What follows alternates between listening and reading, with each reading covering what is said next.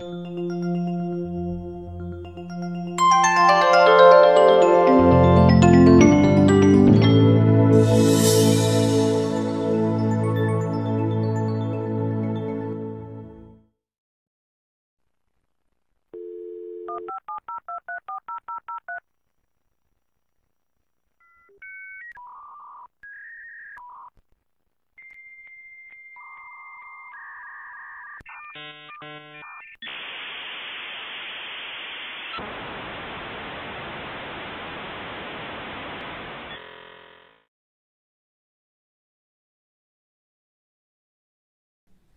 Hello everyone, my name is Stefan and I am a director at the Free and Open Source Silicon Foundation. This is the first episode of our new online event series called FOSSi Dial-Up. Our inaugural presentation today will be by Tim Ansell of Google. He will present to you a joint project of Google, Skywater Technologies, eFabless and many others. It is an entirely open source PDK, the essential ingredient to free the last nanometer. The next episodes of the series will be around this PDK, covering all aspects and tools required to create a full open source chip design flow. In July, Mohamed Shalan will present Open Road support. In August, James Stine will present his work on standard cells, followed by Matt Guthaus, who will present OpenRAM support. Finally, Tim Edwards will close this batch of presentations in the FOSSi Dial-Up series and present DRC shakes with Magic. There are many more topics to follow.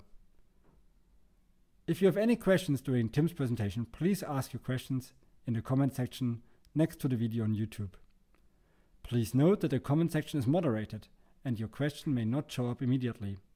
We kindly ask you to stay on the topic of the presentation. After Tim Tim's presentation, we will ask him the questions as curated by our team. The recording of today's episode will be available on YouTube. So now I'm really curious to learn more about this open source PDK. How about you? Let's switch over to Tim. So, hi everyone. Hi Tim, how are you doing? Good, thanks. Excited to be presenting. And I'm excited to hear about your presentation. Thank you very much. Let's go. Well, hi everyone. Uh, this is my first remote presentation, uh, so it's going to be interesting. Um, I'm happy to be presenting today on a project that I've been working on for over a year. Um, but before we go into the project, um, I want to give you a little bit of background and context about myself to help you understand uh, where we're coming from and uh, why we are doing this. Um, so, who am I? Um, this is what I look like when uh, not in the middle of 2020 uh, COVID 19 type crisis. Um, a little bit less bushy normally. Um, and I kind of self identify as a software engineer. And like most software engineer I try and make all problems into software.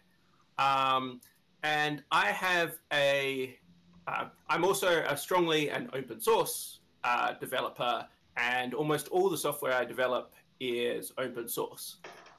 Um, and I have a lot of projects. Um, I actually give a talk called uh, Tim Has Too Many Projects. Uh, you can see a previous edition on that link there. Um, and so you might already know me from some of my other projects that I've done, and they frequently have a hardware bent. Um, I worked on this project called the HDMI to USB, which was all about trying to build FPGA video capture hardware. And this comes back to being a software engineer. Uh, FPGAs effectively turn hardware problems into software problems. Um, I also do smaller projects, sometimes physically smaller. Uh, this is my Tomu project, um, which also has an FPGA variant, which is an FPGA dev board inside your USB port. And following on from that, because I'm an open source developer, I have been heavily working on improving the ecosystem in uh, the FPGA toolchain land through a project called SymbiFlow. And um, all these projects that I've talked about have been hobby projects. And normally, when I'm presenting, I would then present and say that, you know, this is not my employer's work. Um, and so many people don't actually know that for the last 12 years, I've actually been working at Google. I've had a whole bunch of different roles at Google. Um, but what I've found is that my personal and hobby projects have increasingly started to become related to the work I'm doing. And one of the things uh, that's interesting and happening to Google at the moment is Google is a website, but behind that website is a large number of computers, and my slides did not change then. Why did my slides not change?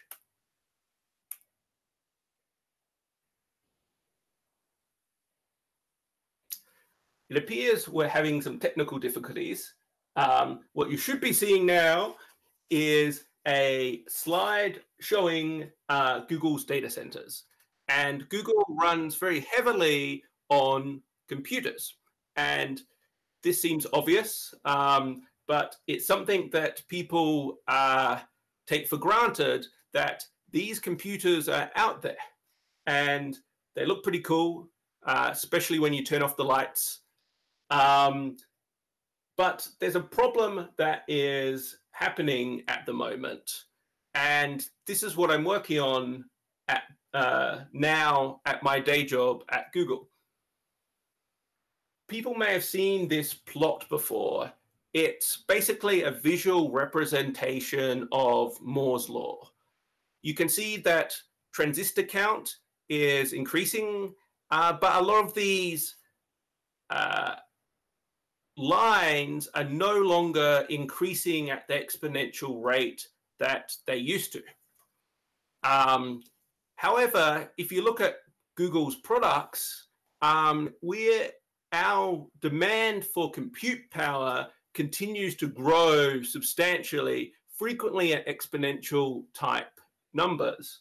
And this used to be a free ride with Moore's law giving us increasing compute power to keep up with um, this increasing demand for computation. Um, but that's kind of come to an end now, which isn't great. Um, and so we have a lot of projects at Google that are trying to solve this, and I'm working on one of them. Um, I don't work on uh, the most successful project we've had here, which is the TPU. Um, this is a ML accelerator uh, that has drastically increased our ability to do ML compute. Um, and this is kind of an interesting thing in it's showing that hardware that is domain specific can potentially keep up with this growing demand for compute. Um, the problem is it's taking a lot of effort to create these hardware accelerators.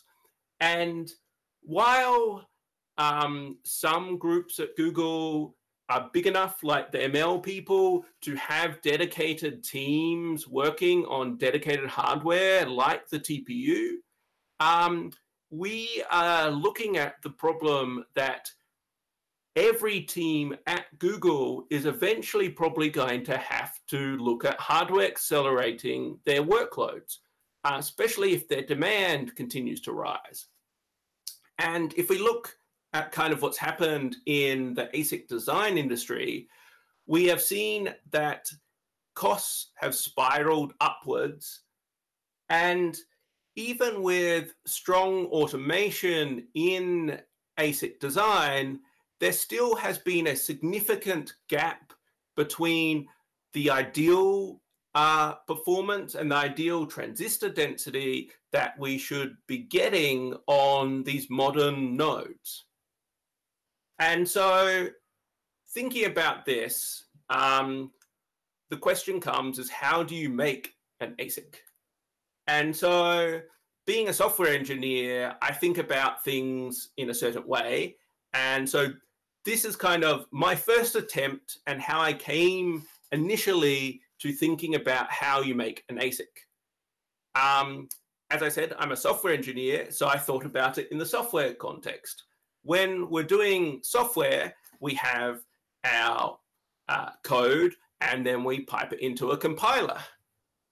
Modern compilers are kind of split into front end and back end. The front end kind of passes the stuff, and the back end converts it into something that a machine um, can process. And so, if you look at like an C++ x86 uh, program, you'll see that you know you have C files, you run it through a compiler, out comes some assembly, which then convert gets converted to a binary, which you then run on your CPU. This is kind of how the we picture a software toolchain, or somebody like me pictures a software toolchain. And if we look at the um, electronic design automation space and ecosystem, it looks like there are a lot of parallels here, right? You have your hardware design languages, which are equivalent to the code, things like VHDL, Verilog, and System Verilog. And then you have the high level parsers, things like synthesis tools.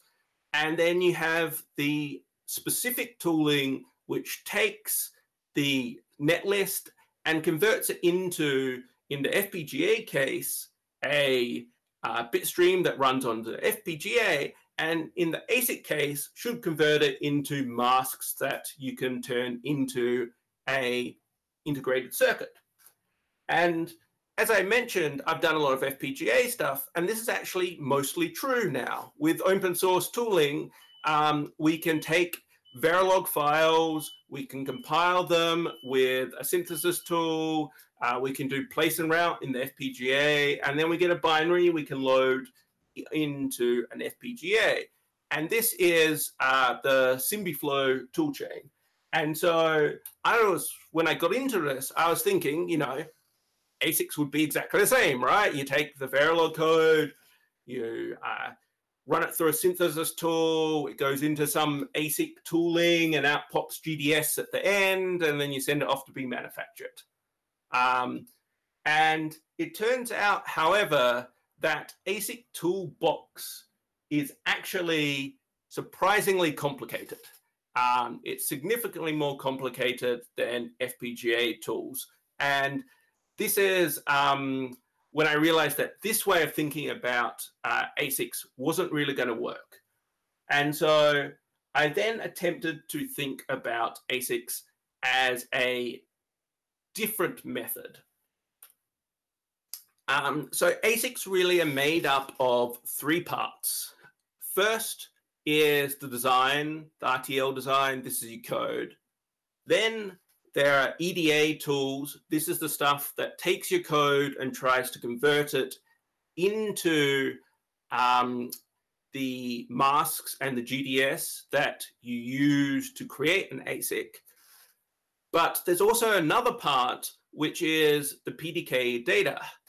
And PDK data is what is needed by the EDA tools and sometimes even the RTL designer to successfully build a ASIC.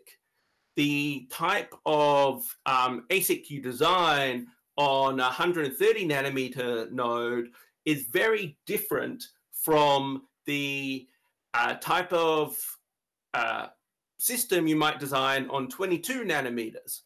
Um, and for those who don't know, PDK stands for Process Design Kit.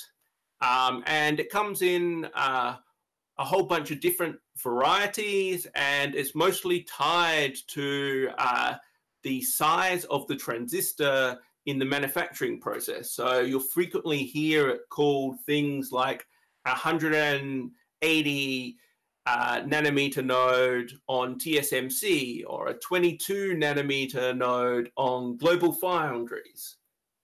Um, and really, for you to have a open source ASIC, you're going to need these parts to be open. RTL design actually has a long history of being open. Um, there's the Open Cores uh, project that has been around for um, like longer and back before I was in university.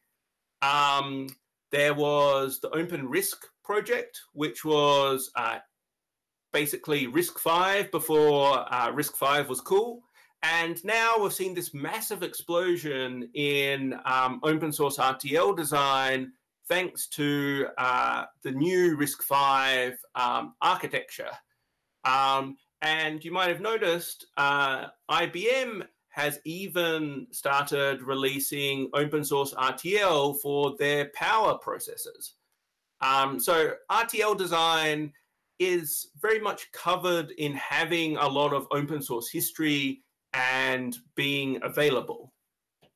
Um, but if you only have RTL design and not open source EDA tools, then you can't take your RTL design and compile it. And so um, EDA tools actually also have a fairly long history of being open source.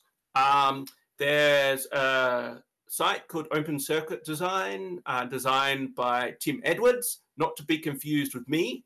Uh, we're both named Tim, uh, but Tim Edwards actually knows what he's doing in the ASIC world. Um, I'm a software engineer pretending to be a hardware engineer. Um, there's also the Alliance and Coriolis flow um, out of, I believe, France.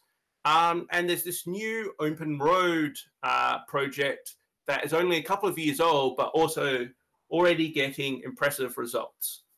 Um, and so these are completely open source toolchains.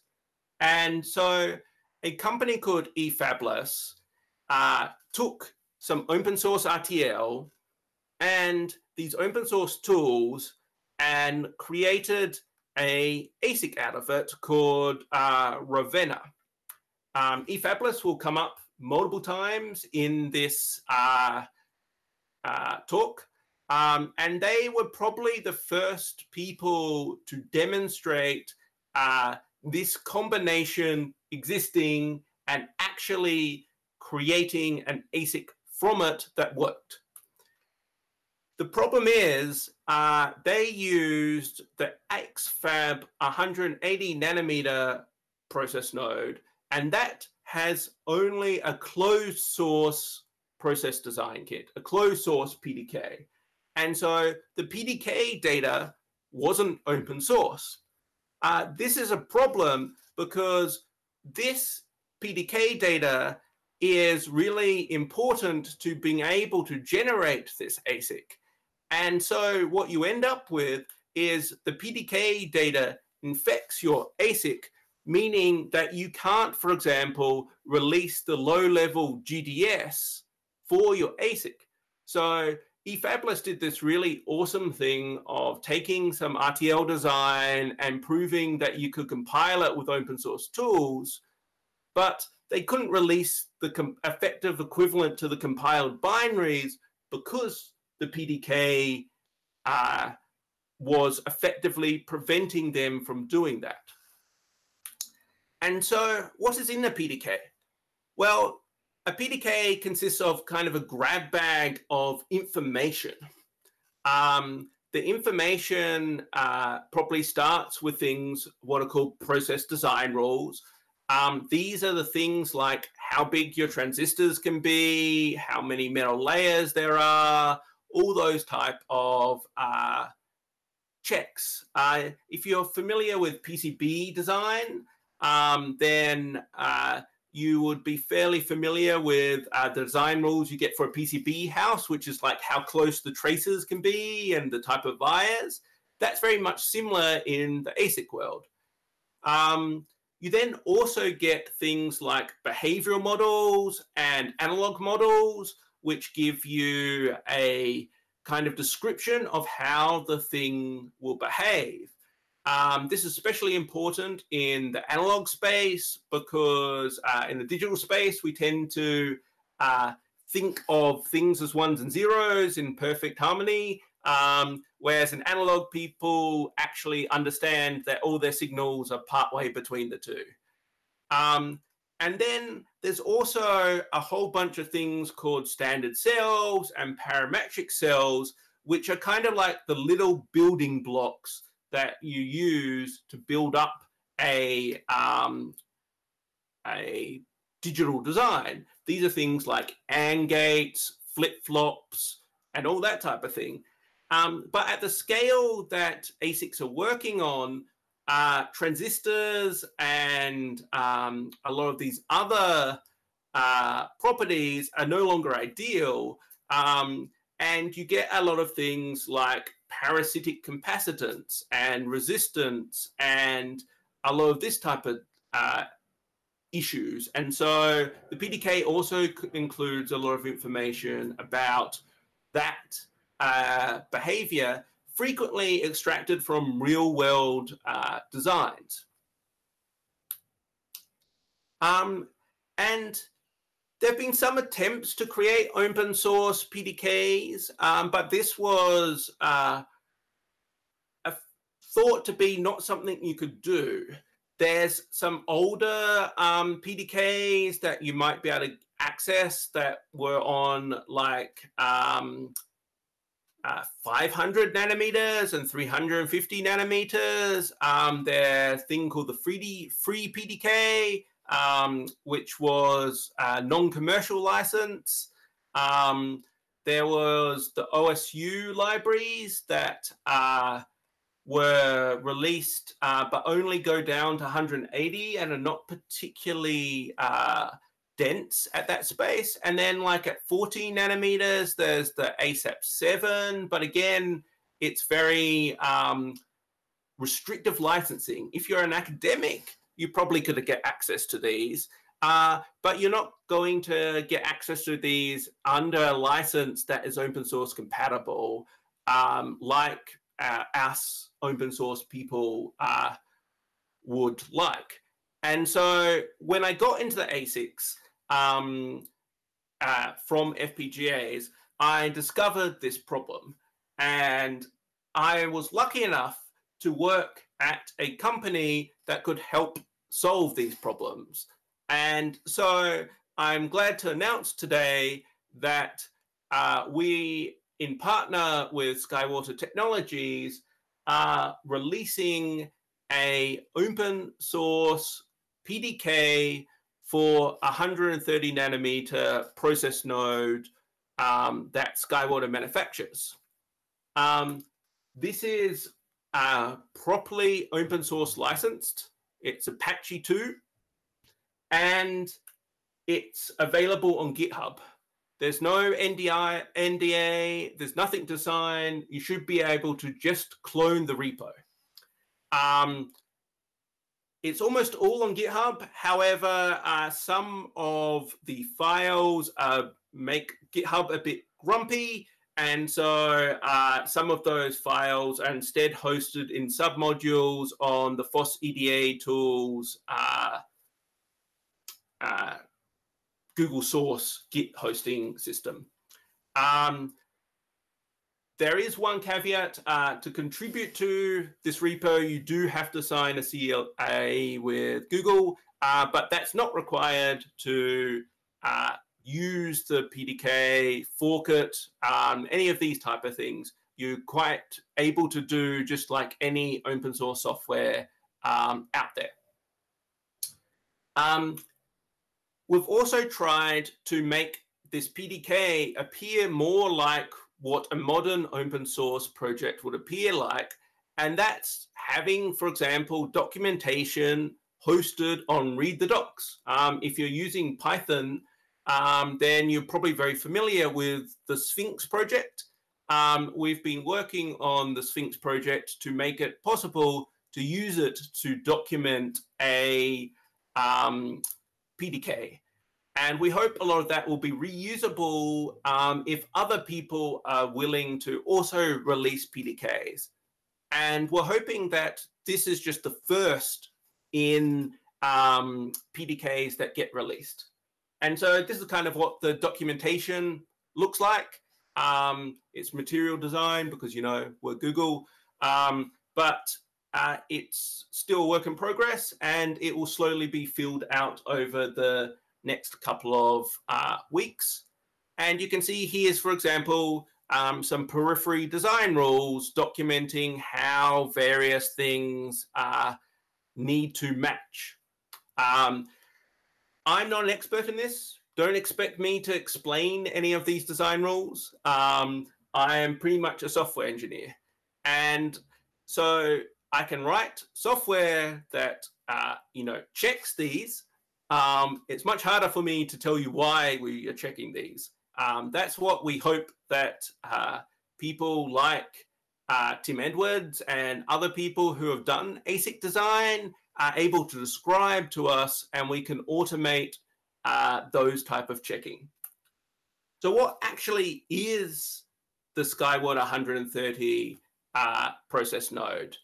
Um, it's a process node that was originally uh, developed by um, Cypress and then spun out into the Skywater Foundry. Um, it has one level of local interconnect and five levels of metal. Um, it has a lot of support for um, things like inductors, resistors, and capacitors. Um, it has a high voltage mode, uh, including up to 5 volt I.O. Um, it supports uh, 10, uh, up to like 10 volts uh, for uh, voltage supply input, and it has a high voltage extended drain NMOS and PMOS transistors. Um, it's also a Sonos process, um, which means that it is particularly good for doing things like flash. Um, that's a lot of words. Um, I don't know necessarily what all those words mean. Again, I'm not an ASIC designer. I'm a software engineer, and I rely heavily on collaborators to um, uh, help me understand what's going on here. And so this is kind of what the uh, process node stack up looks like. Um, if you're a ASIC designer, apparently this diagram means a lot to you. Um, it doesn't mean a lot to me, but it is very pretty. Um, and I actually believe this might be auto-generated, but Tim Edwards would have to correct me there. Um, so the question I think you have is what does the open source PDK include? Um, as of today, and um, when I say today, I mean probably in an hour or two, um, the digital standard cell libraries will be available. Um, the digital standard cell libraries are just the first step, though. Uh, we would like to include a full set of I/O and periphery cells. Um, we will include the base set of primitives and um, full automated design rule check decks, a full set of analog RF primitives, and build spaces for SRAM and Flash. So this is going to eventually become a full PDK where you can do everything uh, from design analog circuits to designing your own standard cells to designing your own I/O. Um, but the initial release uh, is uh, just the digital standard cells. Um, and that would have been before this talk if uh, the git command I was running overnight uh, hadn't failed. Um, so it will probably be later today.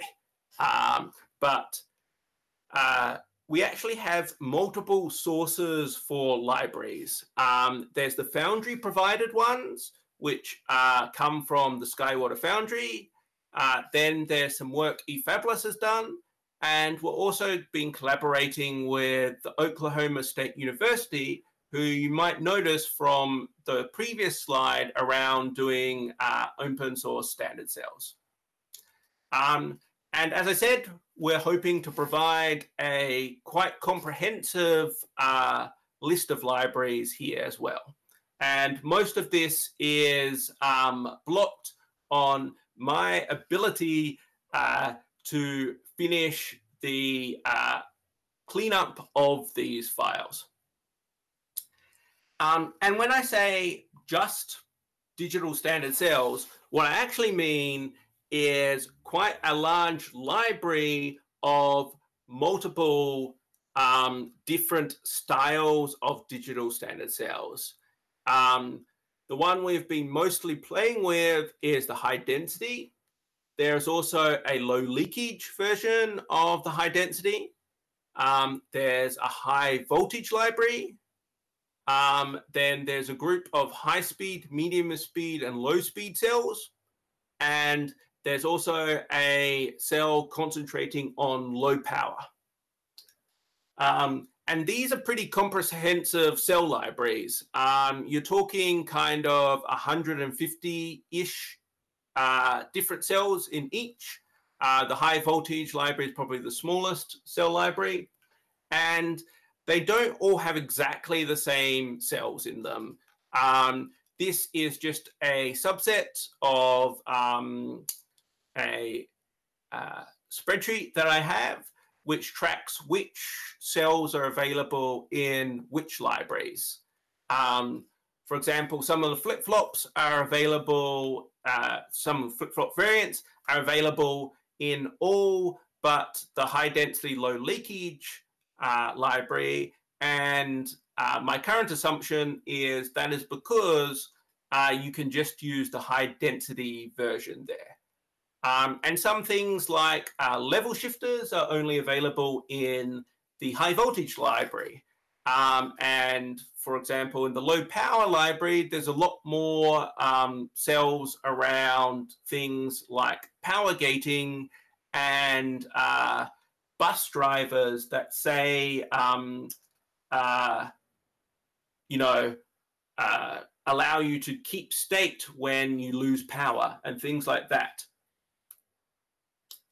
And so here's an example of a GDS um, from one of the standard cell libraries. Here's the um, symbol and schematic uh, for one of the standard cells. I believe uh, this is a D flip-flop with uh, both Q and not Q outputs and a scan chain. And this turns into a lot of files. Um, and these files kind of go on and on, but they kind of come in a whole bunch of uh, different formats. Uh, there'll be the full GDS, um, there'll be LEF, there'll be Liberty timing um, data, or more, um, uh, more correctly, there'll be timing data which can generate a Liberty timing file. Um, there are Verilog models uh, for digital simulation. There are also Verilog black boxes. Um, there's full uh, netlist transistor.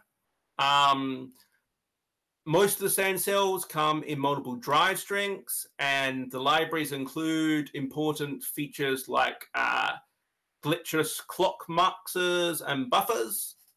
Um, at the moment, all the files are released in um, uh, these base level formats. Um, we would like to enable them to work uh, with standards like open access, uh, but we need help to make that happen because um, the open access uh, file format doesn't have uh, open source libraries for reading and writing them, which makes it very hard for us to uh, create um, those versions automatically from the source data. Um, as I said, uh, on the primitives and the RF primitives, um, we plan to have uh, full parametric models for capacitors, inductors, and resistors, and full uh, SPICE simulation models. Um, a strong I.O. library that has been used in production uh, by multiple different uh, parts in the world with full ESD protection and a whole bunch of data around how to build your own ESD protection. And specialized bit cells. Um, SRAM bit cells will definitely be included, um, plus the DRC rules to use these SRAM bit cells. Um, to get the type of density of SRAM in an ASIC that you want, uh, they uh, foundries effectively let you violate some of the normal rules that you would. Um, there will also be uh, Sonos flash bit cells and the exceptions there and maybe even in the future, um, things like ReRAM. Um, Sona, uh, sorry, Skywater is a technology foundry that uh, specializes in building processes that are compatible with wide varieties of different technologies and enabling um, using unique technologies in their production flow.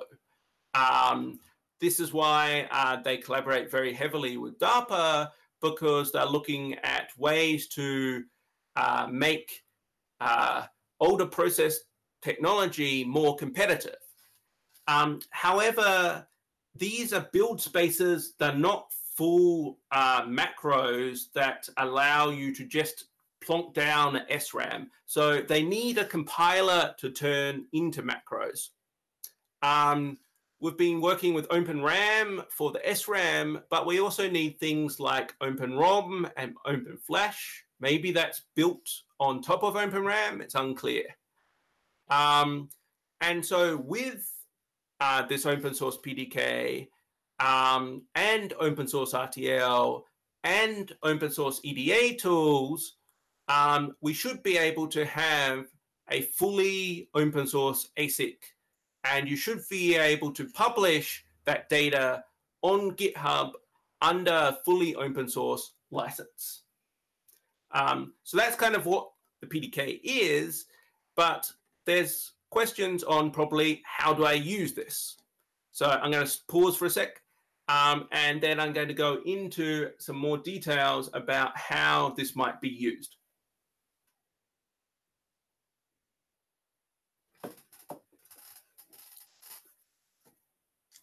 Um, so for digital design, uh, the current project that we have been working with is a project called uh, the Open Road Project, uh, which has um, been created out of this uh, DARPA ERI initiative, which stands for the Electronics Resurgence Initiative. It's run by Andrew um, at the UC San Diego, um, and it has a pretty huge team. Uh, probably that team is so big you can't even make out those faces.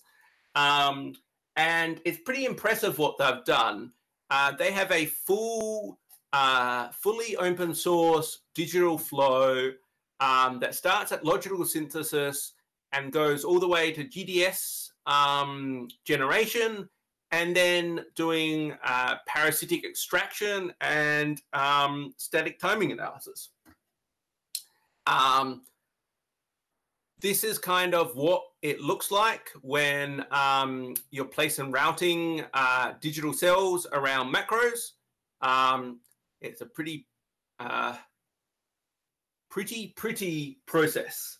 Here's a uh, another example of um, uh, digital cells being placed around macros in a much more complicated uh, design. And while this is an academic led project, um, Andrew is a professor at UC San Diego.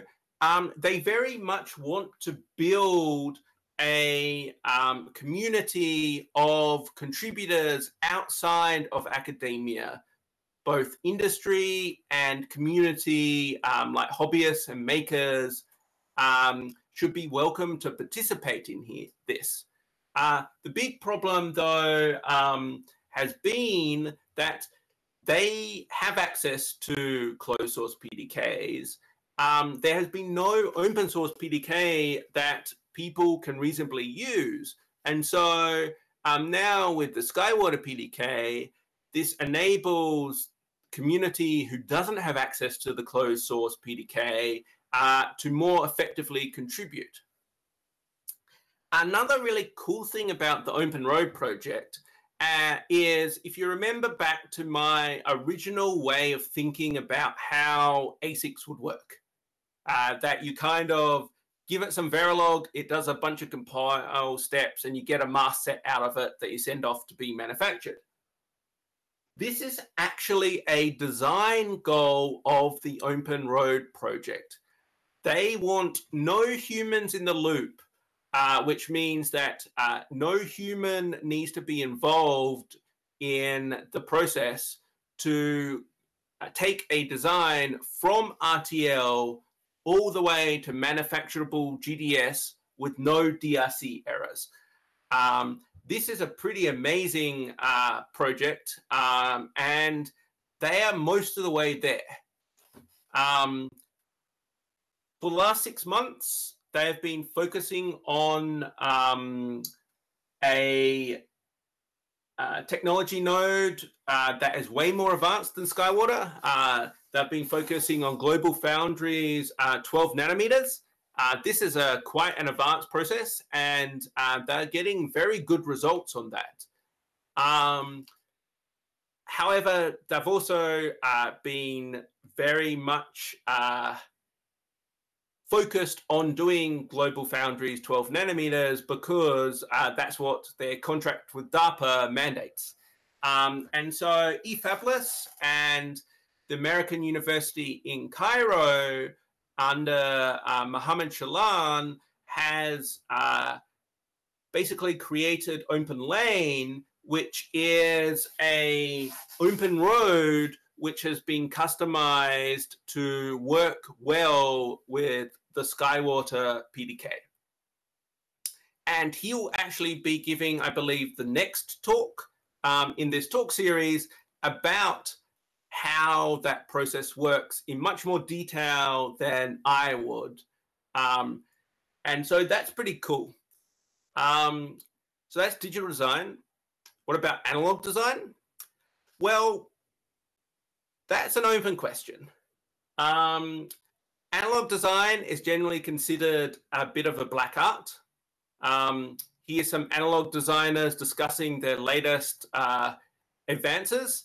Um, and while we have pretty good analog simulators, um, we still need a lot of work in building out uh, the analog design ecosystem in uh, the open source world.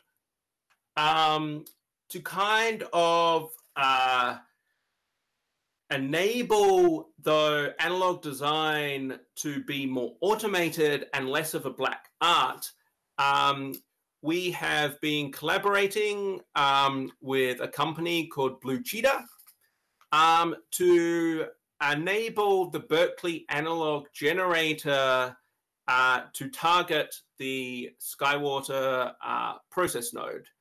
Um, we funded them to uh, create the required primitives um, needed for BAG, and they have been demonstrating um, a Intel's AIB. AIB is an interconnect um, between chiplets um, that they built a generator for. Um, they've been demonstrating that working on uh, the Skywater process node. Um, the problem with uh, BAG is that it currently depends on um, some closed source components. Uh, these components, I believe, all have equivalent open source components. And so it's just a case of somebody needs to swap in the uh, open source versions instead. And because it's a Python based um, uh, generator, um, it this should be pretty easy to do. It's just nobody has had an incentive uh, to do that yet.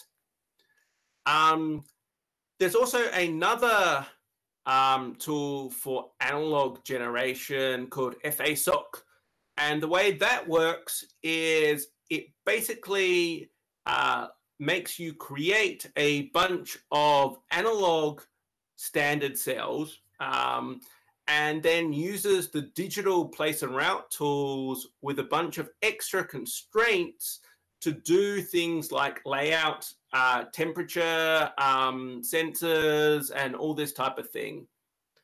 Again, uh, FASOC uh, currently only uses uh, closed source tools.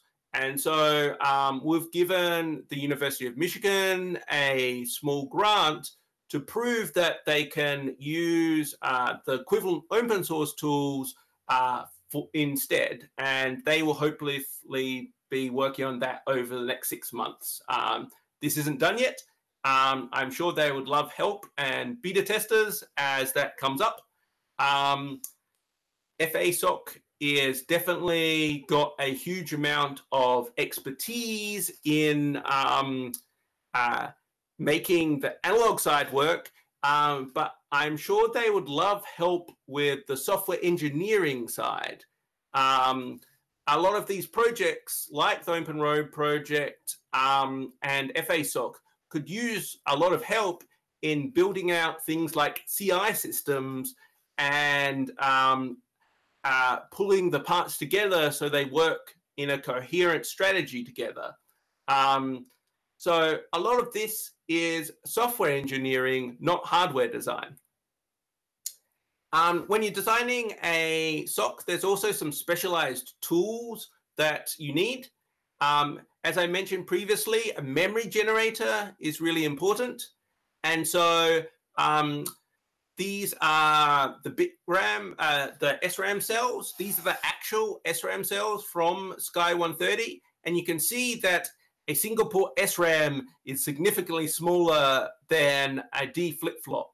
And both of these store a single um, uh, bit of data. Um, memory design, though, is more than just the bit cell. Uh, the bit cell was provided by Skywater, but the memory design isn't. And so we've been uh, funding the Open RAM project to build a memory compiler for the Sky 130 process um, using the bit cells. Um, OpenRAM uh, works with the closed source tools if you have access to them, but also works 100% without any closed source tools and it's designed to uh, enable you to build custom memory um, that uh, in whatever form you want. Um, that project will also um, provide precompiled macros. Uh, there's currently one kilobyte dual port RAM block is being sent for tape out. Um, and we will see if that works. And um, Matt Guthaus, the leader of the Open RAM project, uh, will be talking about how that's going and what you can do um, in the October dial-up talkout. Um, the other thing is we're very interested in enabling new innovation. And so we wanted to be sure that uh, the data we had from Skywater was enough to do things like design your own set of uh, standard cell libraries. And so um, the Oklahoma State University has a long history of uh, designing standard cells. And um, you may have noticed their name was listed back on the, um, uh, you know, previous attempts at doing open source cells.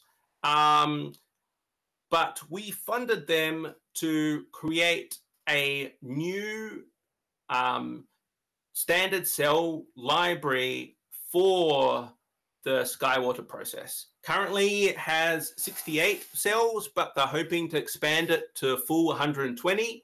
Um, it has multiple drive strengths, and uh, currently it's designed around an 18 track um, layout, but they want to do both 15 and 12 track layouts. Um, I have no idea what that means.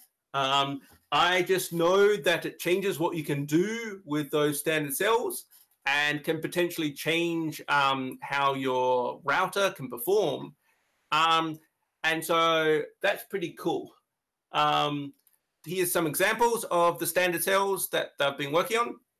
Um, I can kind of understand what these pictures mean, but again, um, I hope that I never have to look at these and that the tooling just chooses the right ones for me.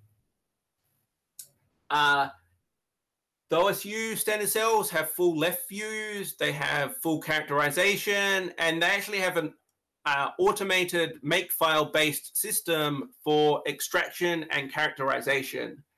I believe at the moment for that they need the closed source tools, even though um, the uh, output uh, is released as open source. I think to generate the output, um, uh, you need some of the closed source tools, but they're working hard to remove those dependencies. Um, here's an example of um, a ARM v4 core um, estimated to run at 370 megahertz, I believe, on Sky 130. Um, and James Stine, who leads that group, will be giving a talk in September about how he went about designing these OSU cells for Skywater. Um, we're hoping that uh, they can also take advantage of uh, the fairly unique feature of Skywater 130, which is the local interconnect. Um, I don't know if they currently do or not. Um, you'd have to ask James. Um, once you've built your design, you need to check that it works. Um, and so you need a DRC and LVS checking tool. And for that, um, we've been looking at a tool called Magic. Um, Magic is probably the only piece of open source software I've ever contributed to that is literally older than I am. Um, it was released in 1980. Um, that's uh, three years before I was born.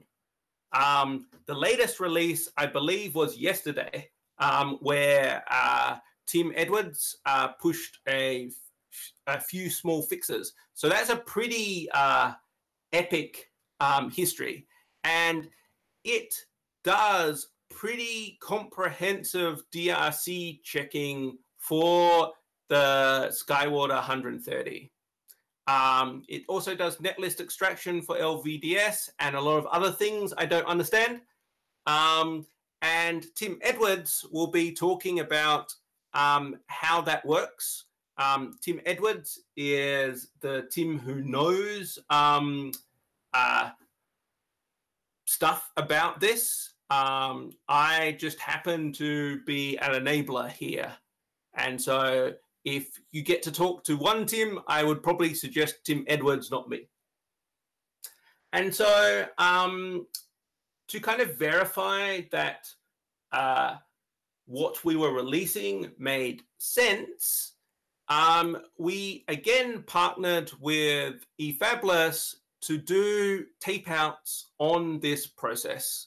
Um, and so they have developed a line of um, test ICs called Strive. Um, it's a little Pico RV32 with 1K of memory and a little bit, a little uh, SPI controller and all digital PLL and some GPIOs. So very, very simple SOC.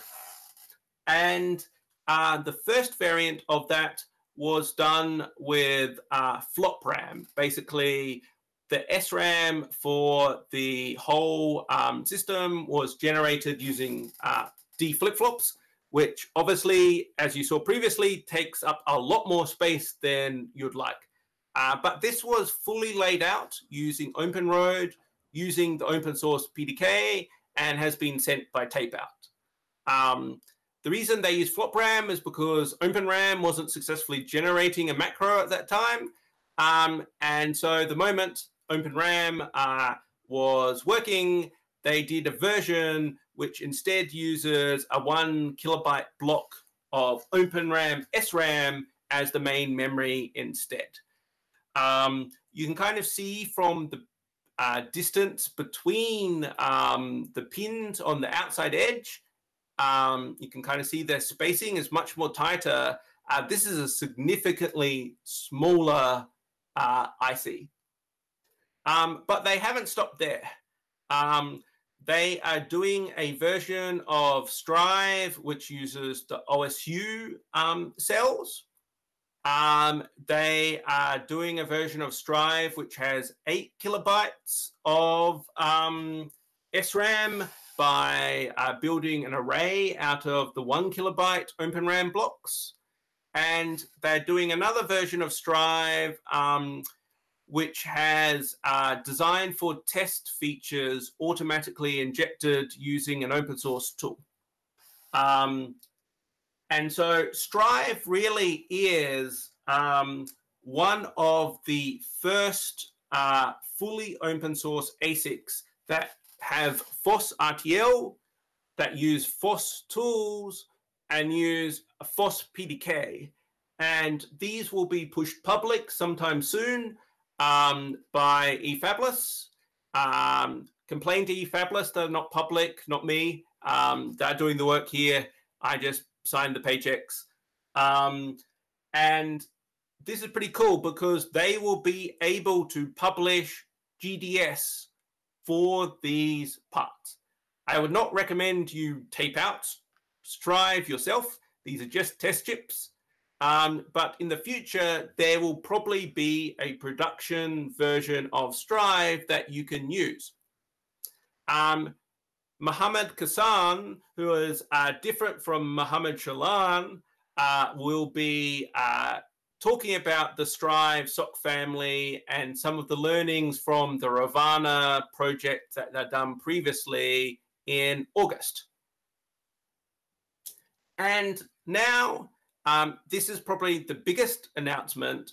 Um, if you have a open source PDK and open source, um, you know, RTL and open source tools, you probably want to do something with it.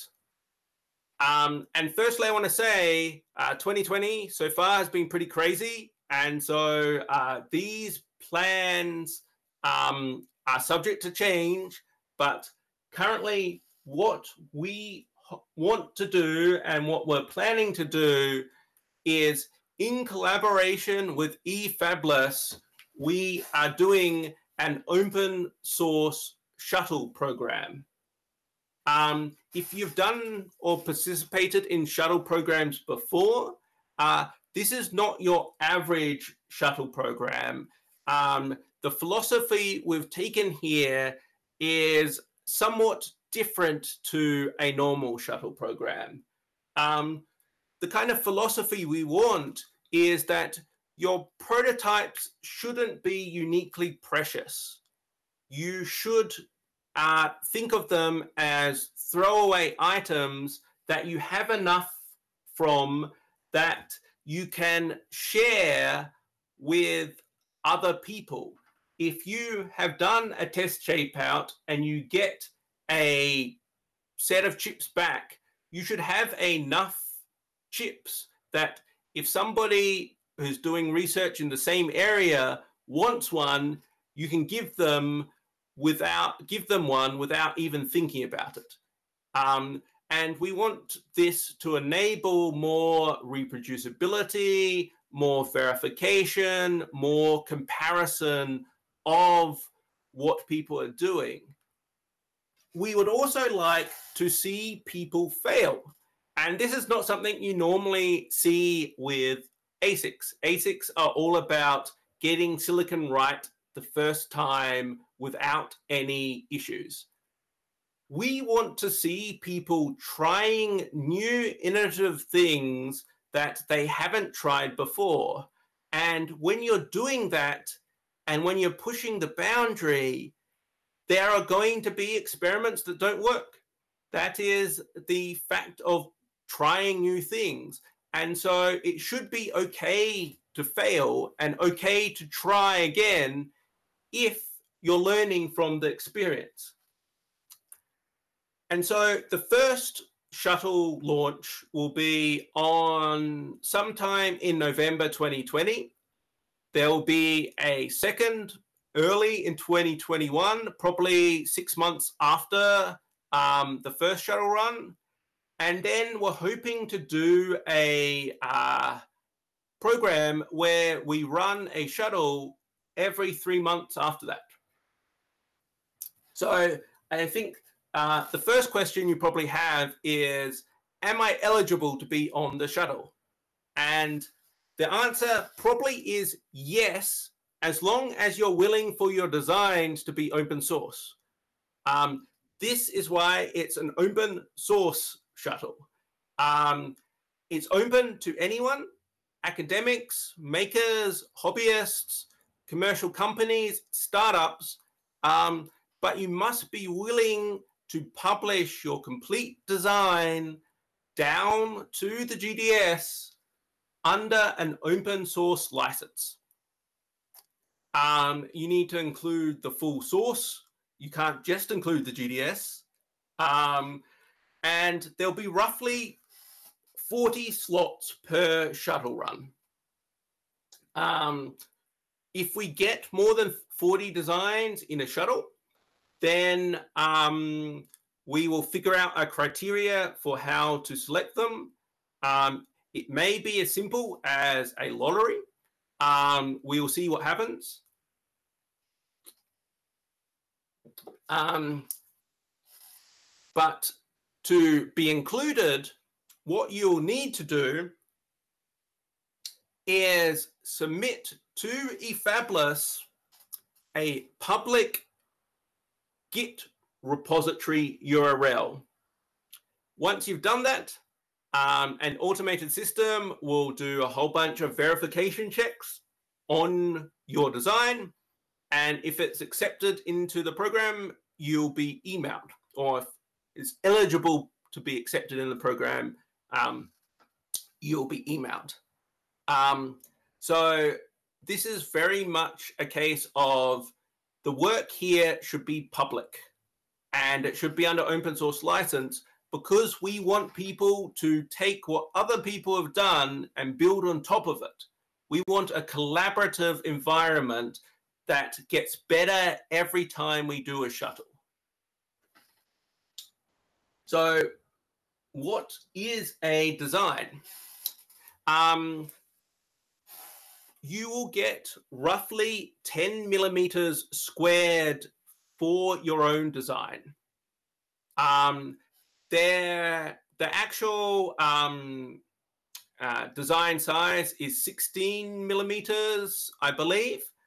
Um, and every design will include a standardized harness with a RISC-V, um, some power circuitry, and RAM.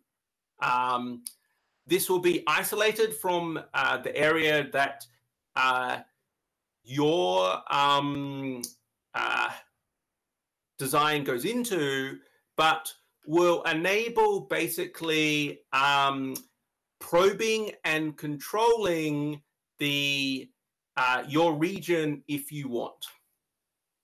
Uh, this enables us to basically also get 40 uh, different uh, ways of testing uh, RAM, RISC-V, and power.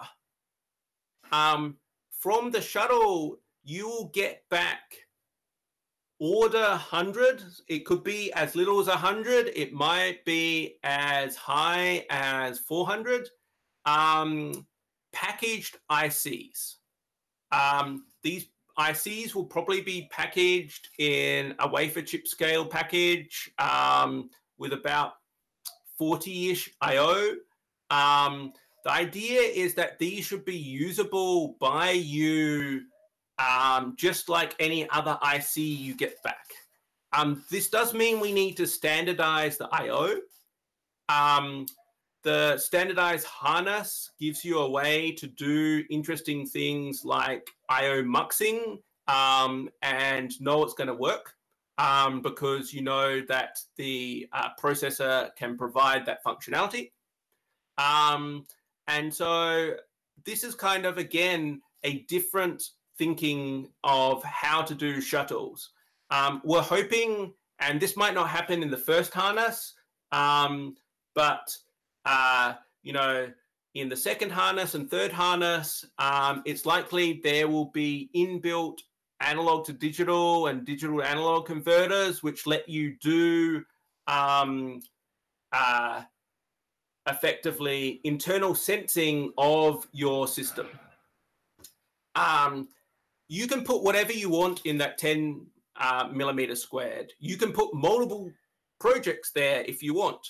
Um, 10 millimeters squared is way more than enough to do like a four or eight core multi-processor RISC-V. Um, is probably not going to be a Linux capable one, but uh, probably a microcontroller level one. You could do an ML accelerator. You could do analog design. Um, we will have a number of I/O pads where you can replace them with your own analog drivers.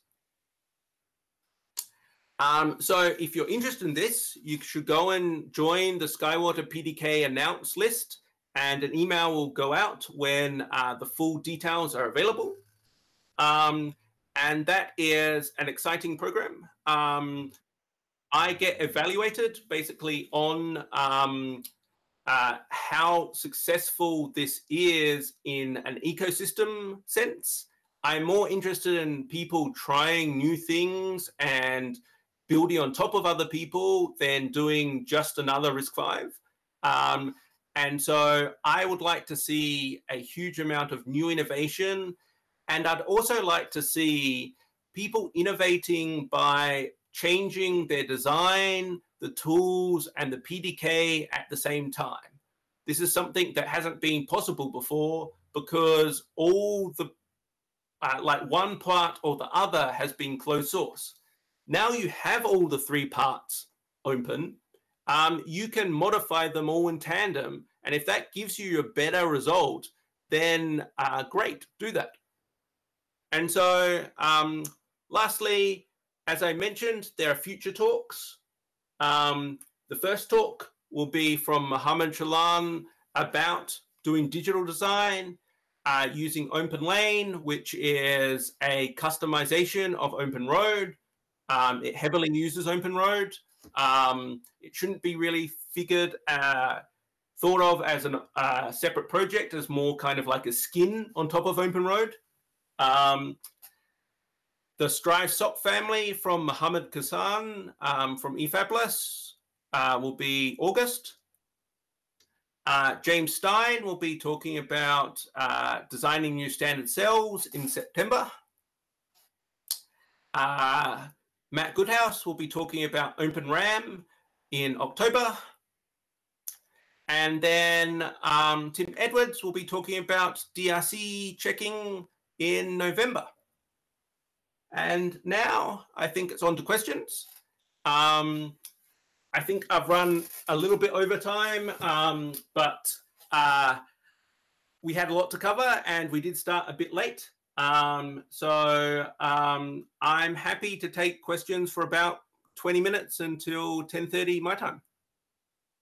Yeah, thank you very much, Tim. Um, very exciting news. Um, we got a lot of questions. So there was one correction um, on the slide. So people that didn't listen to the sound at this time, um, there was a mistake. July, not June, was written. So the standard digital cells are available today, right? Um, yes. Exactly. Okay. On the slide. Sorry, I get July and June confused. um, uh, yes, they should be. they should have been available now uh, but a command that I ran last night and wasn't paying attention to failed halfway through, so I need to rerun that command, and then the um, standard cells should be available. um, uh, so definitely before I go to bed today, the digital standard cells will be up on the Skywater PDK repo. Awesome, that's great news. Then we have one important question: How much do the shuttle run cost? Um, so uh, to be involved in the open source shuttle, um, it's 100% free to uh, the people who get uh, included in it. Um, there's no cost to you um, to be uh, involved with that. Um, my group at Google is providing the funding to uh, eFabless to make that happen. Mm-hmm.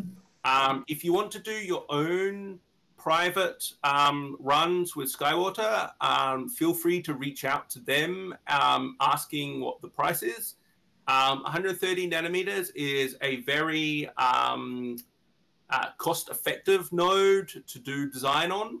Um, eFabless will also probably be running its own shuttle program where your designs don't have to be open source. Mm-hmm. Um, they're still trying to figure out exactly um, how that's going to work. Um, eFabless specialize in kind of straddling that boundary between uh, fully open source and closed source um, because it's still going to be a long time before we get uh, a fully open source PDK for like Global Foundries 12 nanometers. Um, and so um, eFabless is trying to enable people to get access to technologies like that um, while still, uh, you know, um, uh, keeping the foundries happy. Hopefully, more and more stuff um, will be fully open, um, but I don't think uh, there isn't a space for closed source IP, closed source tools, or um, closed source PDKs. Um, just like there is open source software and closed source software. And in fact, I still use closed source software in my daily, um, uh, you know, thing. I use what is the best tool for the job. Um, and uh, the idea here is to enable people who previously wouldn't have had access to. Um, we definitely want to support things like the cadences and the mentors and the synopsises of the world um, in uh, working with open source RTL and open source PDKs. Um, they definitely have a unique approach to um, doing this. Um, and so um, we would love to support them. Um, however, my access to those tools is limited um, and my time is limited. And so uh, we will need help from the community who has access to those tools to uh, enable support for that.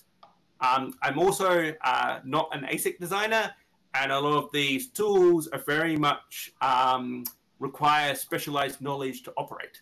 And so um, I don't know how to work them, even if um, even when I do have access to them. So, from your point of view, is it possible to design a full ASIC and ship the GDS to the fab with all open source tools? Um, yes, it's very, very close. Um, the I/O cells would probably be the biggest missing piece, like as this very moment. Um, once the I/O cells are released, then um, uh, you have everything you need. I mean, technically, you could probably design the I/O cells yourself at the moment. Um, maybe not. Uh, maybe the primitives need to be uh, more available. Um, again, I'm not an ASIC designer. Um, I don't know if there are roadblocks that I haven't seen mm-hmm. yet. Mm-hmm the definitely uh, we have kind of existence proof that Strive um, doesn't use any uh, closed source RTL. It doesn't use any uh, closed source cells. Um, it doesn't use any closed source tools. Um, the design was checked with Magic. Um, it was also checked with uh, Mentor Calibre and uh, they both agreed on um, that it was clean. Um, and so um, I believe today, um, once uh, these examples are published, it's very possible. Um, there are pieces missing that um, you you probably want on a standard Internet of Things chip. For example, there are no voltage regulators. Um, for Strive, you have to provide uh, basically the voltage supply externally, which means you have to provide both like a 3.3 volt I/O and a 1.8 volt core, and mm-hmm. um, there's no PLLs, there's no A to D, there's no D to A. Um, we're hoping that uh, things like Blue Cheetah and uh, like Blue Cheetah's bag and um, FASOC enable us to uh, create a lot of uh, those that IP, um, uh, you know, create that IP uh, more quickly. Um, but we're also hoping that analog designers um, who uh, I've been told actually quite like 130 nanometers. Um, it's apparently quite a nice uh, process node for doing analog design will also create these designs and release them as open source. Um, when the primitives are available, that is most certainly uh, doable. Um, that getting the primitives out is highly uh, high priority on my list, um, mm-hmm. and uh, we definitely want to do that as soon as possible. And um, I hope to be able to do it in less than a month. Um, we're not talking six months, we're talking weeks to maybe months at the longest to get that full set of stuff out. Um, the other big thing was, um, you know, there's no Flash compiler yet. Mm-hmm. Um, there's none of the periphery needed for doing Flash, like the charge pump and all that type of thing. Um, for SRAM, there's OpenRAM, and that's working. Um, OpenRAM still needs a bunch of work to support, for example, single port RAM and not needing the straps and stuff like that. Um, Matt is working on that, um, and I'm sure he would love help. Hmm. Uh, a lot of that is mostly Python coding, not um, analog design. Yeah, I see. And OpenRAM uh, generates all the, you know, uh, non-standard cell parts of the memory compiler, like the sense amp and the drives and the layout and all that type of stuff. Mm-hmm. Um, and so the fact that those don't exist in the build space is perfectly fine because OpenRAM can do that work. Okay, awesome. Um, and that's a question um, probably regarding um, the, the production. If you want to run outside the shuttle, um, if there's any limitation on the by the foundry on the accepted DRC or LVS tools?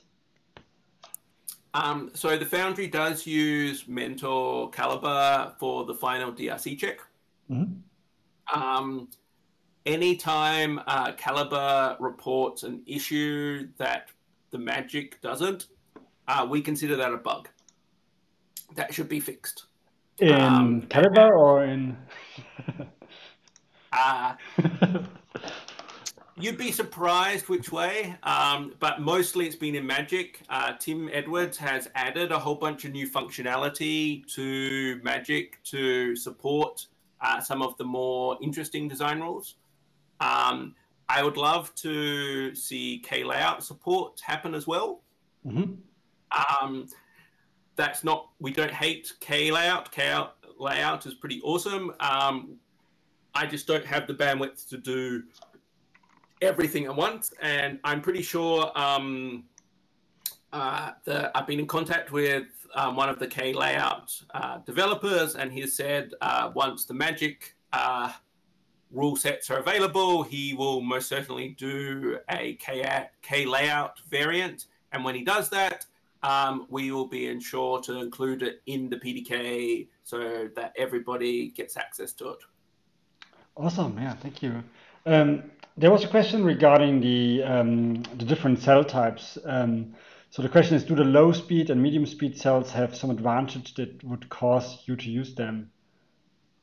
Um, yes, uh, they use less power. Um, and so um, the theory is you want to use the high speed stuff on your critical path and then use uh, the low speed stuff everywhere else. Um, and in theory, um, you know, the medium speed, which kind of straddles the boundary. Mm-hmm. Um, I have no idea if this is works or not, and how you do that. Um, uh, I just know these cells exist. We may find that, for example, the high density cells are just are always a better choice than, um, you know, the speed based cells. Um, this is something I would like people to explore. Um, for example, in 10 millimeters squared, it's perfectly reasonable to potentially tape out um, four RISC-V microcontrollers using the different sets of cells and comparing their performance. Mm-hmm. And then you can use the supervisor RISC-V to effectively switch the I/O between different internal RISC-Vs. Mm-hmm. Okay.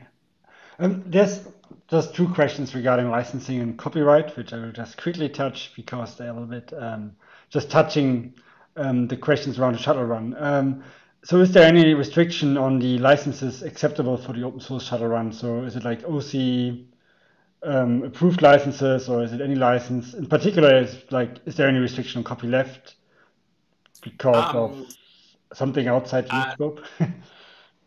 uh, no. The harness design will be fully open source and available under um, probably an Apache 2 license. Um, and Apache 2 and uh, GPL is compatible with each other. Um, so uh, that should be fine. Um, we will publish a list of acceptable um, licenses um, in the near future. If you stick to your uh, Apache 2, GPL, uh, SolderPad, CERN licenses, um, you're probably going to be fine. Um, if you don't know what you're doing, just select Apache 2. Um, that is a strong preference um, uh, because of um, some of the what does linking mean in hardware is an issue for GPL. Um, I'm not a lawyer, uh, go and talk to your lawyer about um, licensing. Um, go and talk to opensource.org about licensing. Go and talk to the Open Hardware Association about licensing and how those things work. Okay. Um, generally, do not take legal advice from engineers. uh, take legal advice from people who are full time lawyers. Um, engineers get this stuff wrong all the time, and you know, um, everything I do is you know informed by working with lawyers about how to do these things. Okay, and just a quick thing: um, is there any copyright assignment needed, or is it just open source? Uh, no, not for um, the shuttles. Mm-hmm. Uh, for the um, contributing directly to the PDK, ah. there is. Yeah. Um, but not for the shuttles. Uh, you don't have to sign copyright. You retain full copyright to the um, uh, thing that you're submitting. Mm-hmm. Um, uh, you're just release in the process of submitting. Uh, the thing needs to be already publicly released under a open source license. Awesome, thank you. Um, yeah, one question is: Is it possible to design your own cells? And use them in the in a shuttle, for example, I think, or um...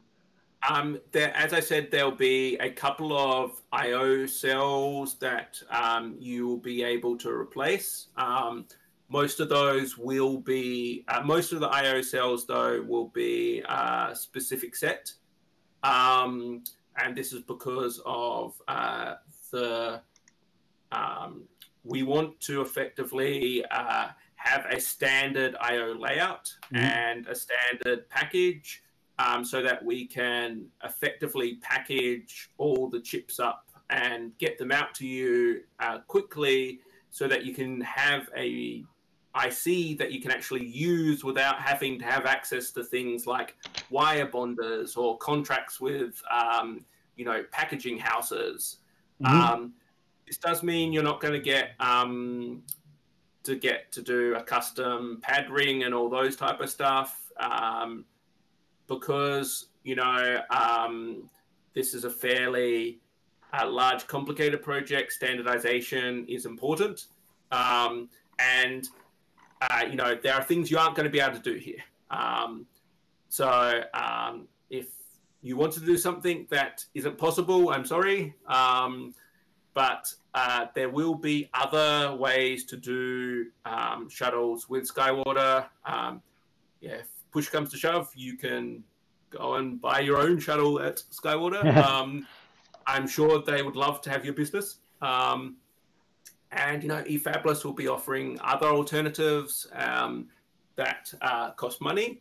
Um, uh, so you know, um, the reason eFabless is offering this one for free at the moment is because um, we're funding it. Um, there is actually real costs involved, um, and so yeah. Yes, thank you. so as we're running a bit out of time, we have two like groups of questions. One is on timelines. Um, yep. There are like a couple of questions of timelines. Um, the one is around um, on the release of basic analog parameterized uh, cell libraries. Yep. Can you can you maybe say something? And the timeline for the OpenRAM is also a question that was asked. Um, so the OpenRAM should be um, days, hopefully. Um, the um, primitives should be like oh weeks.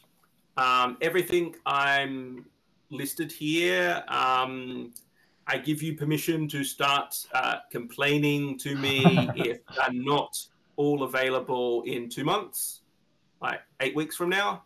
Um, I'm hoping to have everything out in four weeks, um, but uh, for example, the IO cells are reasonably complicated and so need a lot more processing to um, make available. Um, the primitives. Um, there is uh, complexity around uh, how do you define the parametric cells in a way that um, people can use. Um, especially if you don't have access to commercial tools. Um, and so we're working with eFabless and Antmicro and Skywater to figure out how to make that possible. Um, there's also a whole bunch of documentation that will slowly go up um, uh, over the next couple of weeks as well. Um, there's a GitHub, um, uh, there's an issue tracker. Um, you should be able to find there a list of things that um, we already plan to do.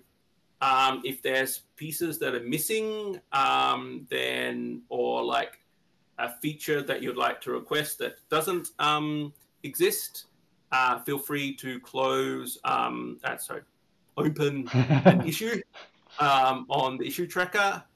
Um, please don't open uh, issues on the issue tracker about the shuttle program. Uh, that's not the correct place to ask about the shuttle program.